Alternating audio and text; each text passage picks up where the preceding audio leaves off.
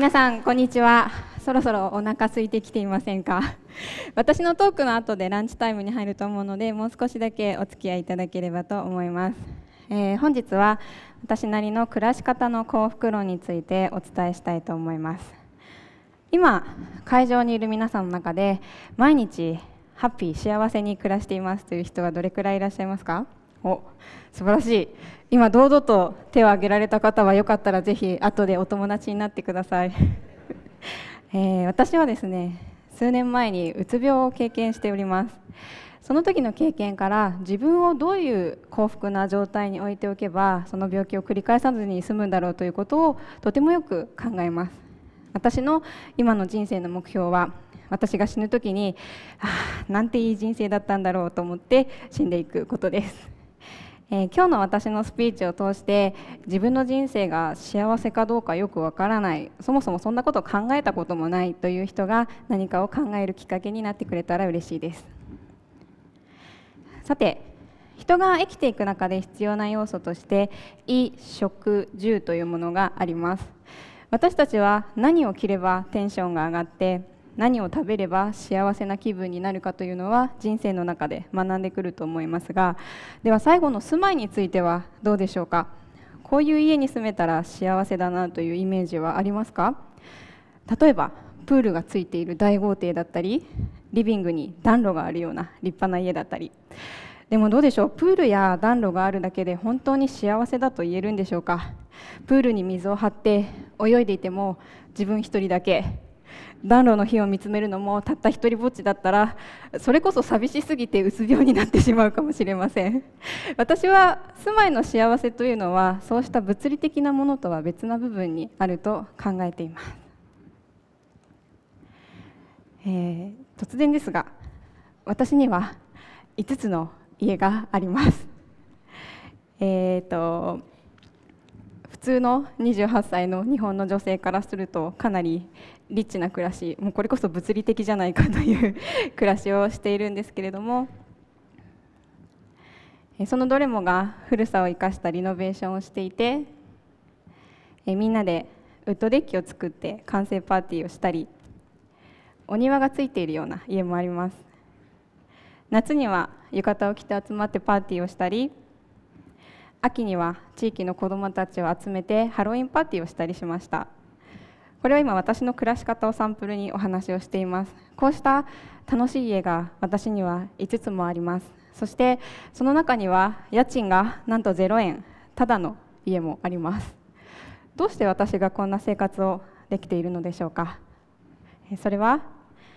私の仕事がシェアハウスマネージャーだからです。まるで全て自分の家であるかのように言ってしまいましたがそれぞれの家のオーナーさんから、え、管理を任されてそこをシェアハウスとして運営しています。シェアハウスって一体何だろうという方ももしかしたらいらっしゃるかもしれないので簡単に説明をさせていただきます。シェアハウスはこの間取りを見ていただくと分かるようにオレンジ色の部分リビングやキッチン水色の部分のバスルームやトイレなどをシェアして使うライフスタイルのことです。部屋は各自に分けられていることが多いです。日本では2000年頃からシェアハウスの物件が増えてきて今でも右肩上がりに物件数が増えています。普通に家を借りるよりも低コストで新しい生活を始めることができるという経済的な部分に注目されている面がありますが私はシェアハウスが日本で今増えているのはもっと別な理由もあると考えています。シェアハウスは現代の日本に求められている暮らし方だと思っています。まず私がシェアハウスを始めたきっかけをお伝えさせてください。私がシェアハウスを始めたのは今から2年前。私が26歳の時のことです。私は1年間のうつ病期間から立ち直ったばっかりで自分のライフプランを真剣に考え直していました。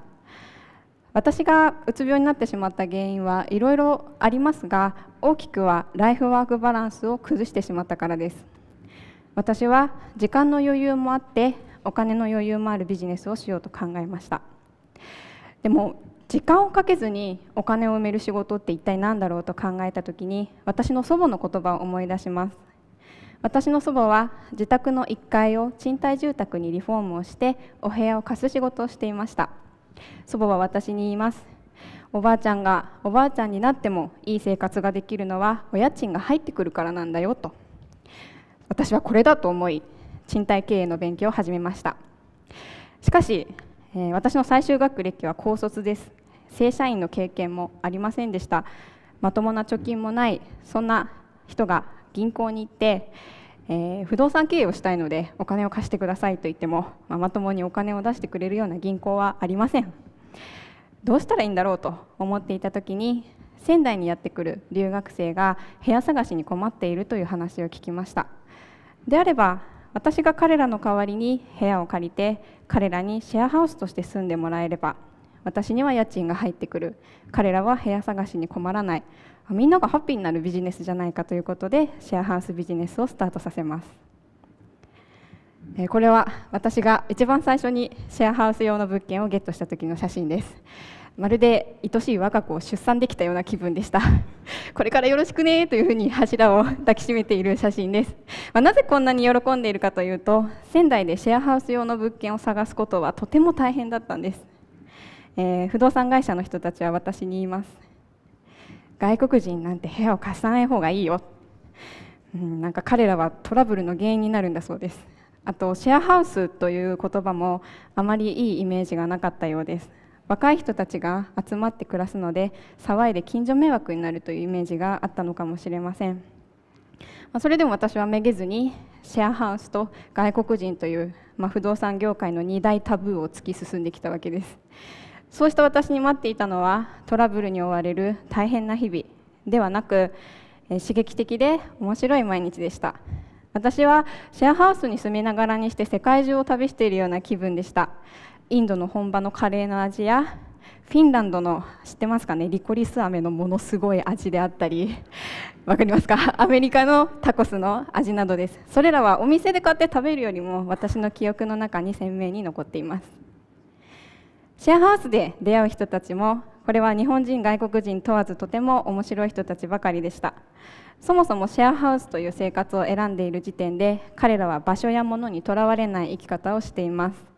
いいものを買ったりいい服を着たりということよりも誰かとコミュニケーションをしたり何か素敵な体験をすることに豊かさを見いだしている人が多いです。こちらの図をご覧ください。これは心理学者のアブラハム・マズロー氏が提唱している人間の欲求5段階の図です。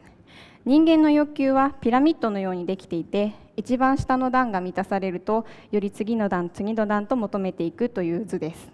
一番下の生理的欲求は寝たい食べたい飲みたいなどの本能的な欲求です。その次に安全の欲求安心安全な暮らしを得たいと思います。その次に所属欲求。仲間や集団に所属したくなります。次に承認の欲求。その中で尊敬されたり認められたくなります。最後に自己実現の欲求。自分のスキルを生かしてクリエイティブなことをやっていきたくなります。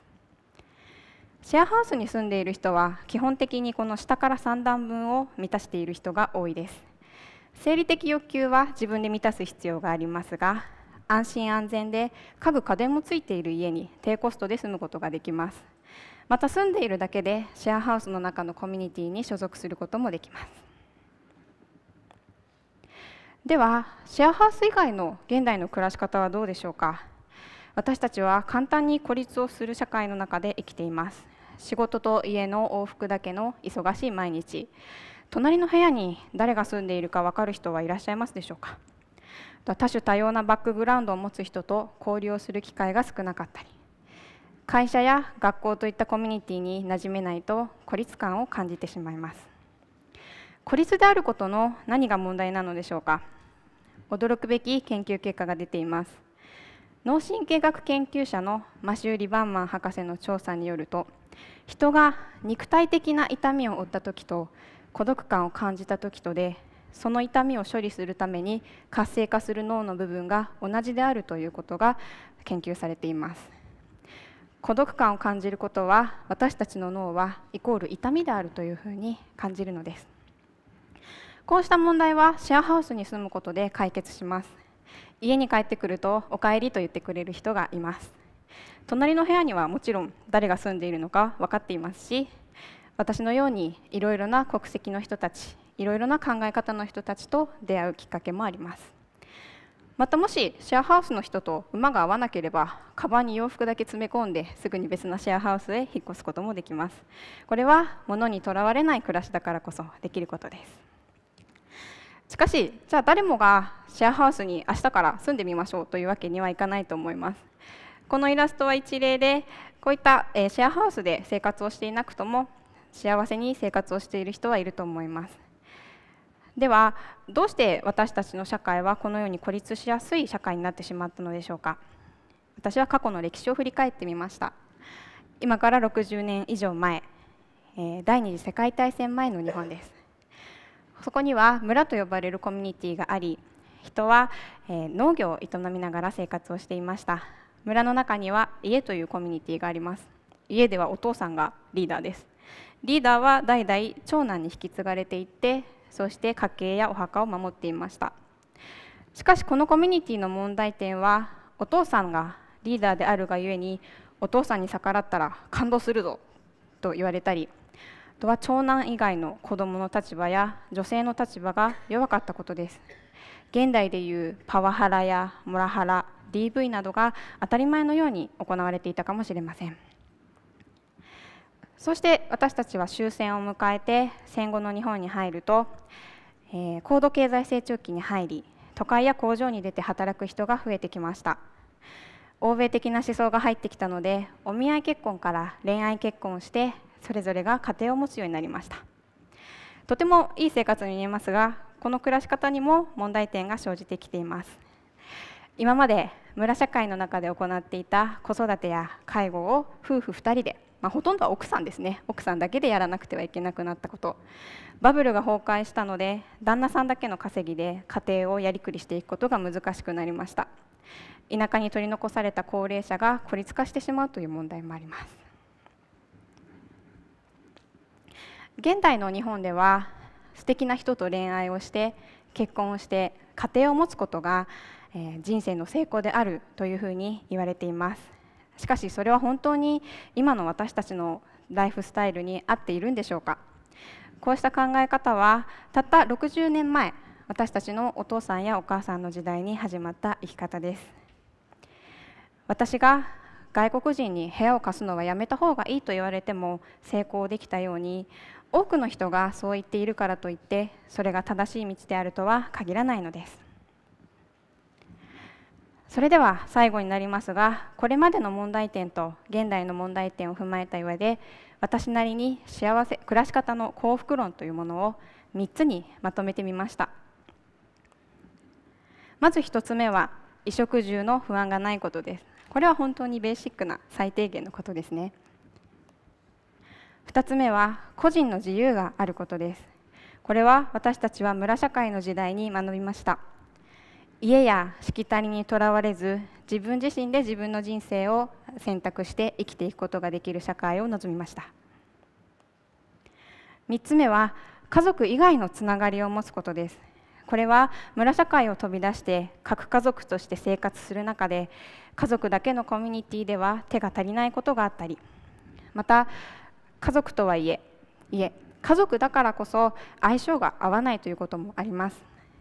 家族以外の心が許せるコミュニティを持っているということは私たちの人生を安らかにしてくれます。これは私の毎日の写真ですが学校や会社家族といったコミュニティ以外にもっと緩くフラットにつながれるコミュニティが現代の日本社会では求められています。幸せの形というのも人それぞれ多様化してきました。昔はずっと独身でいるだけでまた離婚をしただけで白い目で見られるような社会でしたが時代とともにそういった風潮も薄れてきています。こうした暮らし方をすれば誰もが幸せになれるというテンプレートは今の時代にはもう存在しないということに気づいてください。私がシェアハウス生活を通してたくさんの人と出会ってきたようにさまざまな考え方や価値観を皆さんには知っていただきたいです。今日の TEDx も皆さんにとってとてもいい機会になると思います。そうして目の前にあるさまざまな選択肢の中から自分の状況に合ったものを選択して自由にクリエイトしていく。あなたなりの幸福論を作るきっかけになっていただけたらとても嬉しいです。最後までご清聴いただいてありがとうございました。